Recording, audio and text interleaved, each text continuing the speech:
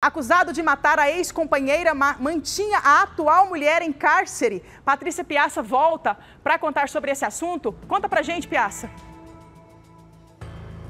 História absurda, viu, já que a Polícia Militar, a equipe da CPE em patrulhamento ali pelo bairro Hilda, em Aparecida de Goiânia, conseguiu identificar e prender este homem que já tinha um mandado de prisão em aberta pela morte da ex-companheira lá no estado de Santa Catarina. Já que os policiais descobriram que ele mantinha a atual companheira de 48 anos de idade ali em Aparecida de Goiânia em cárcere privado, também é suspeito de agredi-la fisicamente, psicologicamente e ainda estuprá-la, Este homem, segundo informações, mantinha essa mulher isolada. Ela não podia ter contato ali com amigos, com familiares, tomou o celular dela, as redes sociais, ela era proibida de entrar nessas redes sociais. Então, este homem foi preso porque já tinha esse mandado de prisão em aberta contra essa ex-companheira morta em Santa Catarina e agora está atrás das grades também pelas agressões cometidas contra a atual companheira. E a gente espera, né, Jaque, que continue preso, porque essa mulher de agora, essa de 48 anos de cidade de Aparecida de Goiânia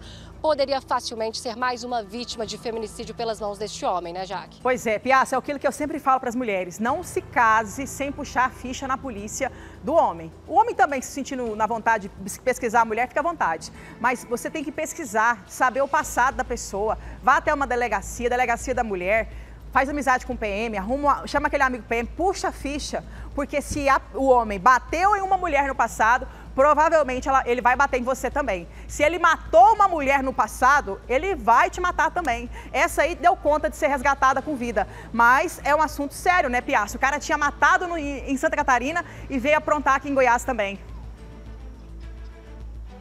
Uma pessoa dessa não tem conserto, né? Já que, infelizmente, muitas vezes as mulheres ficam presas em relacionamentos assim, esperando mudança, porque esse homem, ele quase sempre promete ali que vai mudar, mostra arrependimento, né? Vira um doce ali depois que a mulher o perdoa, mas no final, a gente que acompanha sempre esse tipo de notícia, a gente sabe bem, né, já que, infelizmente, essas mulheres acabam sendo agredidas novamente e talvez até mortas. Então, fica o alerta, se você tem um relacionamento tóxico como esse, se liberte, saia dessa enquanto enquanto ainda há tempo, Jaque. E se você, minha senhora, falou, ah, com a ex ele era ruim, mas comigo vai ser diferente, vai não, viu? A menos que ele tenha convertido, virado outra pessoa. Caso contrário, vai repetir o mesmo. Obrigada, viu, Piaça? Pois próxima. é, ó. Gente, não adianta. Fez com uma, vai fazer com outra. Parece uma doença, sabe? Fez com uma, faz com outra. Fez em Santa Catarina, vem aprontar que isso aqui, aqui tem a PM, né? Pá, jaula.